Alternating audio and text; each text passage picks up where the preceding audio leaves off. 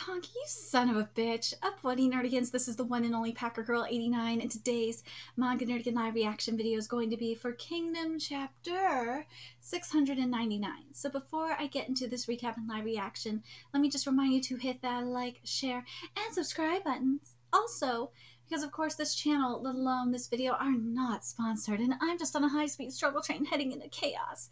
It's getting faster by the second. If you love what I'm doing and want to help keep this channel alive and a feel free to hit up my Cash App and PayPal. Those links are in the description box below. So, last chapter was goddamn epic for several reasons. One, you had Kanki with his feet up on the table, sitting across from Sei, the Emperor of Qin. And you know, he's just taking all this shit from Sei, and he don't give a fuck to be honest. Marin's freaking the fuck out, but Marin, you know, made some really good points. He did. But there's also, you know, the fact that they needed to send Zhao a fucking message. You know, a skull for a skull, a head for a head. And, um, to, you know, basically say, you ain't fucking with us here, right, kitty? They ain't fucking with us, right, kitty? Mm.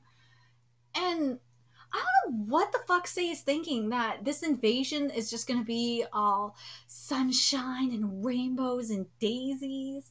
Because, as Kanki said at the end of the chapter, this, the blood and shit that's happening here, this massacre, is also on and ultimately on Sei's hands because he was the one that ordered this invasion and you're gonna punish Kanki for this? I just I don't get it. I don't get what you're thinking. Sei, I really don't. Anyways, let's get to this chapter, see what's in store for us this week.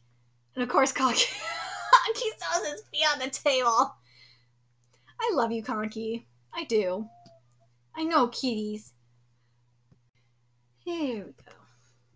You're the one who started this invasion, so you're the one who has the most blood on his hands in this world, King of Kin.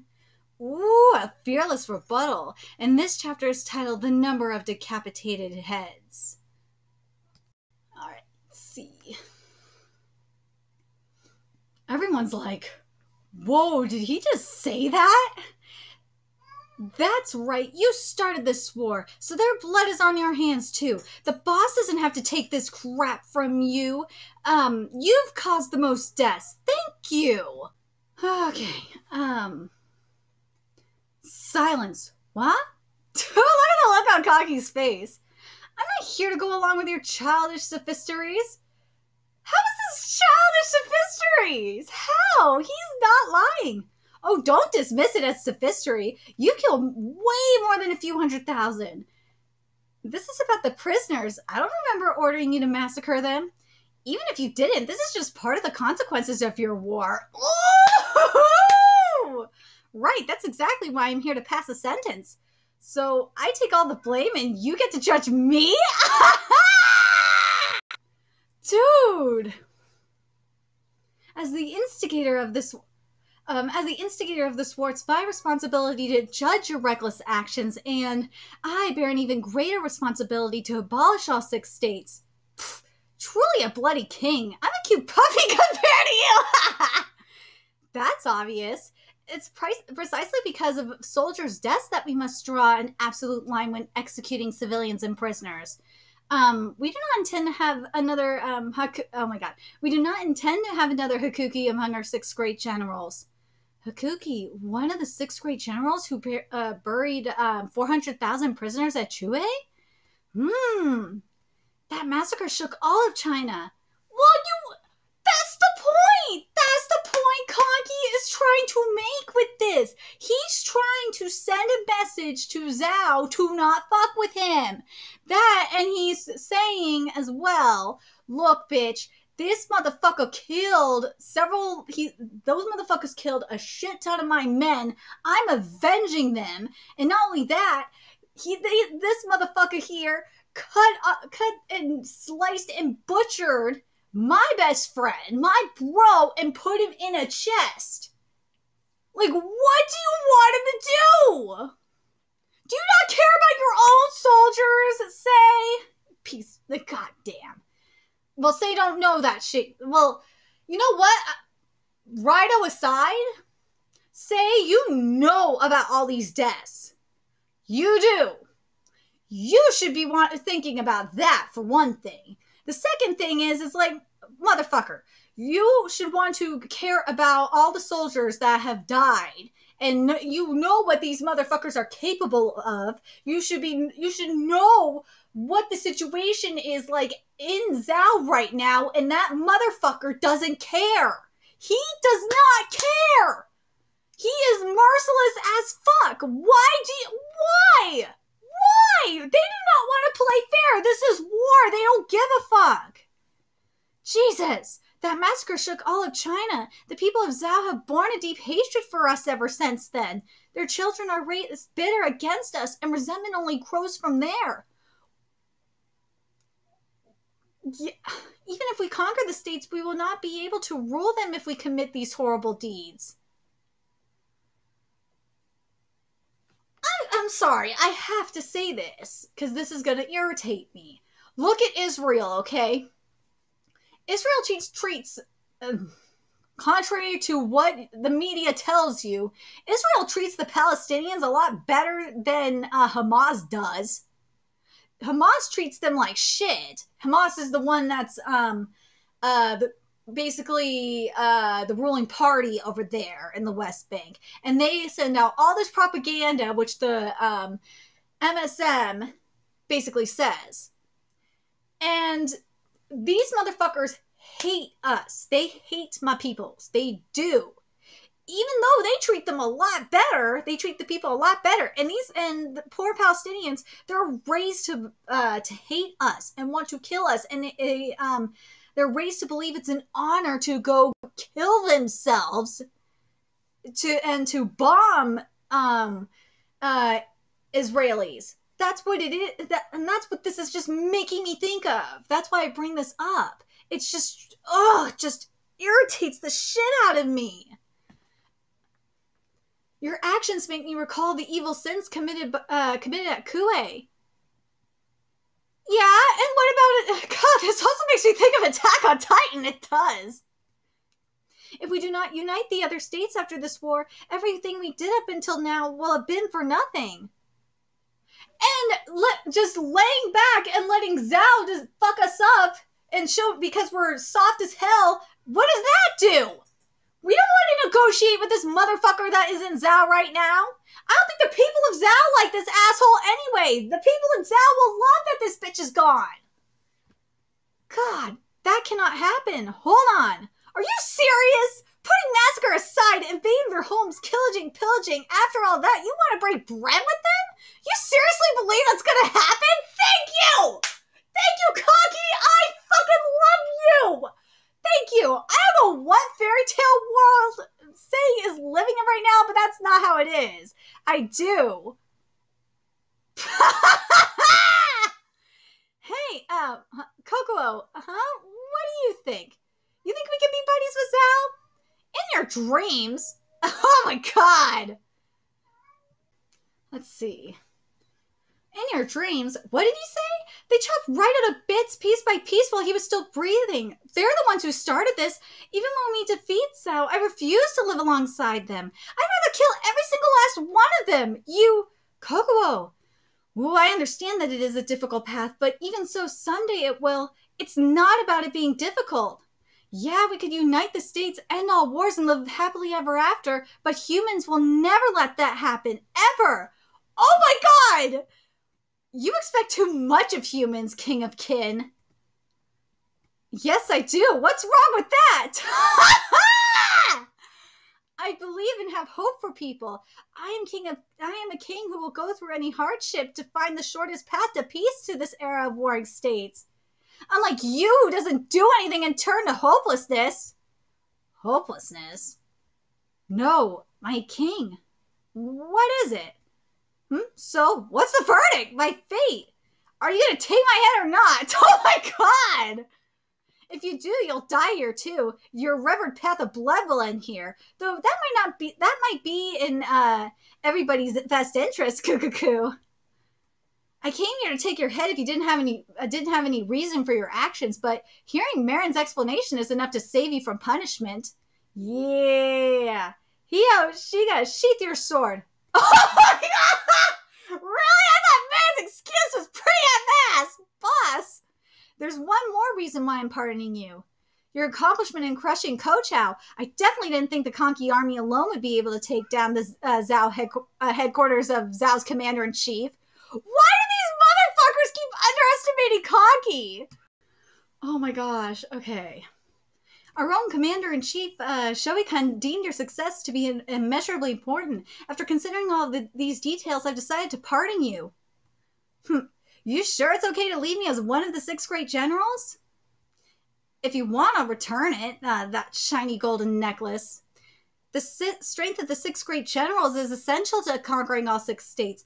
That hasn't changed. The necklace will remain in your care for now. However, engrave this in your hearts. The next time you do something so reckless, we won't have a, a civil discussion. Your head will roll before you could say a word. And next, um, and next time, uh, remember this, Kanki. And next time, if you put your feet up on a table like that in front of the king, I'll cut them off.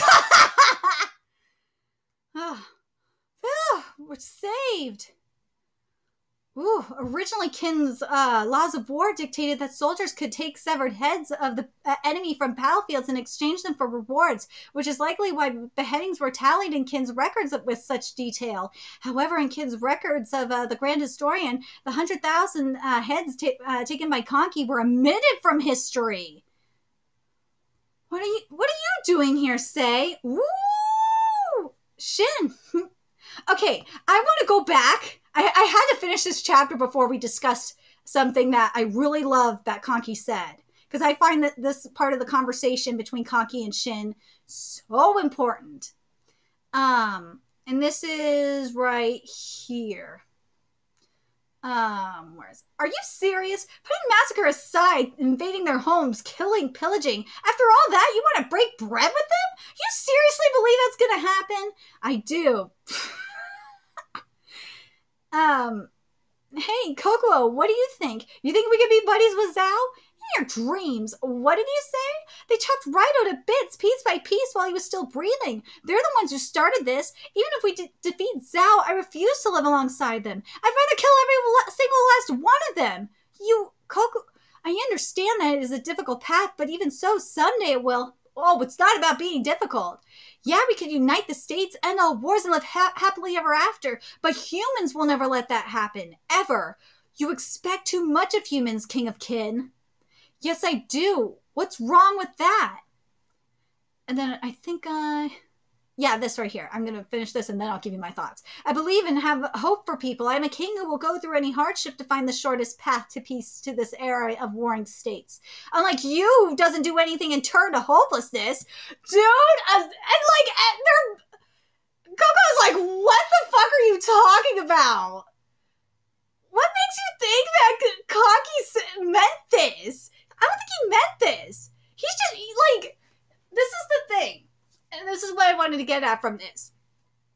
This is like the assumption of the mother uh, assumption is the mother of all fuck ups and like the um black and white extremes here because we see this a lot. Like if it can't be one extreme, it has to be the other, and and that goes for uh, as well. But because things are not black and white. No, there's a gray area, and I think that's what Kanki was trying to get at with this. You ex- um which is uh yeah, we could unite the states, end all wars, and live happily ever after, but humans will never let that happen, ever. Again, and unite the states, end all wars. Not this war, and all wars he's talking about. Fucking Sei didn't listen. You did not listen, Sei. You did not listen to what Con- Kanki was uh, specifying. And I really, I love that.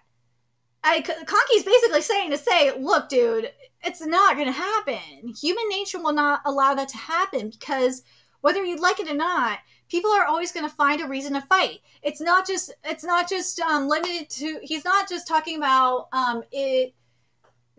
In China as well. He's talking about, you know, enemies outside of the country too. He's talking about like the Mongols and shit. So it's more than just that. It's he Kanki is looking at the bigger picture. Whereas Sei, and to an extent I understand what Sei is talking about. Sei is more focused on the smaller picture where he's focused on China and, you know, all that. Sei is not looking at the bigger picture. Again, understandable. Very understandable. So I completely understand where um, where both Kanki and Sei are coming from, especially uh, when with Sei right here saying, "Yes, I do. What's wrong with that?" Sure. What's wrong with wanting to to dream? Sure. Why not? I believe and have have hope for people. I'm a king who will go through any hardship to find the shortest path to peace to this era of warring states. That's a huge problem, though. That's a red flag because sometimes the shortest path is not uh, yeah you could try and find the shortest path and it, it, that's a great dream to have but especially with something like this no you have to be very meticulous with unif- with um, unifying the country. You got to be very meticulous and very strategic. And i think and finding the shortest path to peace is a great dream to have and going through the hard that's very noble. You want to go through the hardship but going through the hardship meaning means accepting all the deaths that come with it. It does. But it also means you got to accept the hatred that's going to be coming your way. Unlike you who doesn't do anything and turns to hopelessness how does and uh, going back to this how does being realistic mean hopelessness Bro, like, Sei you are being so ridiculous. I don't know what, like, delusion you're drinking, but you are drunk on some really good, like, military delusion. military great delusion, my dude. Because Kanki is not being, he's being more realistic than anything else. He's trying to get, he's been on the ground longer than, than, than you have. It's kind again, this is kind of like the fight that Shin, um, uh, that Shin was dealing with it ex- actually it's exactly like the conversation that Shin had like a while ago. It gets um it gets the oh my god, it gets the other general. I can't think of his name off the top of my head. But you know who I'm talking about. It's exactly like that. It's exactly like the conversation. You it, you've got to freaking accept it. Well, you got to think about it. accept it you can fight all you want, but it's just a reality of things. I hate that's why like when Kanki's like hopelessness, dude, reality is hopelessness? Okay, whatever, buddy.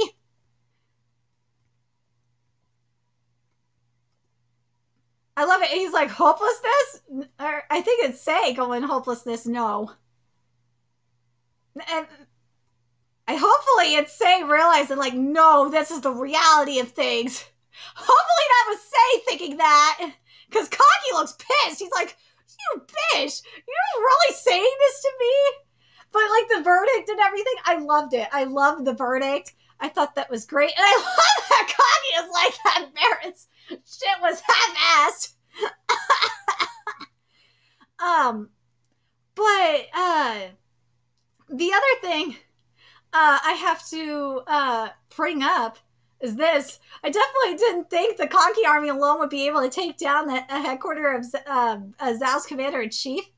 Like, why? Like, why are you assholes fucking just underestimating Kanki? Especially you Sei you're the one that made him a general of the heavens. You're a dumbass. You like Kanki's looking at you like, are you fucking for real? Kanki is just like, I think he's just insulted. That face, that look on Kanki's face is like, excuse me, are you fucking for real? You're insulting the shit out of me. First, you're telling me that I'm that I'm delusional, and then when you're like straight up project, that's what it is. Sei is straight up projecting in a way, projecting, saying that um that he isn't the one delusional, that that Kanki is delusional. And then this shit, like you're like straight up insulting him. and that's why Kanki's just like, well, because I don't have the same ideals as you do. That uh, is it. Are you sure it's okay that I'm still at a six generals? Yeah, Kitty knows. Right, Zeno? I know, I know, Kitty. We'll play fetch in a sec. Um, dude, I lo- I still love that that Sei's like, dude. Next time this happens, though, I'm gonna fuck you off. I do like this too. Remember this, Kanki? and next time you put your feet up on a table like that in front of the king, I'll cut them off. Dude, that was fucking epic. But man, uh, Kanki ain't having any of this shit. He's not. He's not. But I do like this as well that the heads um, of enemies in the battlefield could be exchanged uh, for rewards which is likely why beheadings were tallied in the Kin's records with such details. But damn, it shows you that Sei is just fucking mad. He is mad. But dude, Sei, I'm sorry. You you have this you have this like um you have this uh, oh my god this optimistic mentality I, I, just don't know if he really understands like yeah he may have been told the situation up in Zhao but i don't think he really comprehends the situation and with with motherfuckers like in Zhao um you have to show them strength. You have to show them that you ain't weak as shit. You have to show them. That's why I'm like, Kanki is playing 4D chess while you motherfuckers are playing checkers. He ain't stupid. Even Osen knows this. Osen said that Kanki's insane, sure, but Osen knows what's up. And I think the other thing that I have to point out is as soon as Sei heard about the shit with Rido, I think he totally, he's like, oh, yeah, yeah. But I still stand by what I said last week. It's just, I don't understand how Sei is getting all sentimental and caring about Zhao's troops but not punish thinking about punishing Kanki for all the fucking troops, uh, Kin's troops that you know that died, that Kanki set to die. I'm I would be more pissed about that. Yeah, I know you want to break bread and all that shit. Fine, but let's be real. Zhao, I, am telling you, Zhao would be so much happier without that motherfucker up in Zhao. And you got to wonder if Kanki is also thinking about the fact that this, what this does is make that asshole up in Zhao look really bad, and the people um, want to do another coup d'etat and get more support for a coup d'etat. That's what it seems like to me. I'm really curious what you guys think. It really makes you kind of think that maybe the people of Zhao would, will support working with Kin to overthrow that fucker up in up in the capital of Zhao. I wonder again, I wonder if this is what Kanki's thinking. I may be overestimating Kanki in some regard, but I I could I'm curious. I'm curious what you guys think in regards to that. Do you guys think uh, that's what like Kanki and maybe even to an maybe you know what? Maybe Osen because remember what Osen said. Osen said Kanki was fucking insane. So what Os, what Kanki was doing was insane, and I know he was talking about the the actual strategy itself, but the massacre as well. As soon as I, I really want to know what Osen's thinking. After Osen finds out about the massacre, I want to know what he's thinking too. I do because let's be real. I would think that Osen would do the same thing. I want to know, do you guys think that Osen would do the same thing that Kanki did? Because remember, Kanki came up under Osen. I'm telling you, he would. I think Osen would. The old Osen would. The new Osen, not so much, but the old Osen, oh, you best believe he would have done that shit. You know it. Anyways, I'm very curious what you guys thought of this chapter um, do you guys agree with me that um, that Sei definitely needed to be called out for this shit, and that that and that Kanki? Do you think Kanki not only felt insulted, but that Kanki is giving this look, this like, like kind of like piss that this pissed off look because he's kind of concerned about if Sei can handle the reality of what's going on, like the bigger picture of what's going on. Because like because uh, again, like Kanki's playing 4D chess. He's thinking about the bigger picture of what happens after the unification. at, like when you because you're not stopping all wars because you have to deal with you know the um with the bordering countries so curious what you guys think. Let me know your thoughts in the comment section below and remember to like comment share and subscribe to nerdigans inc if you love what i'm doing i want to help keep this channel alive and kicking so i can keep bringing you more kingdom content. There's a few ways you could do that. Donate to my cash app paypal patreon purchase something off my amazon wishlist. All that's in the description box below. Also make sure you follow me on twitter twitch discord friend me on playstation network. That's in the description box below as well. Till next time nerdigans i will be seeing you later. Bye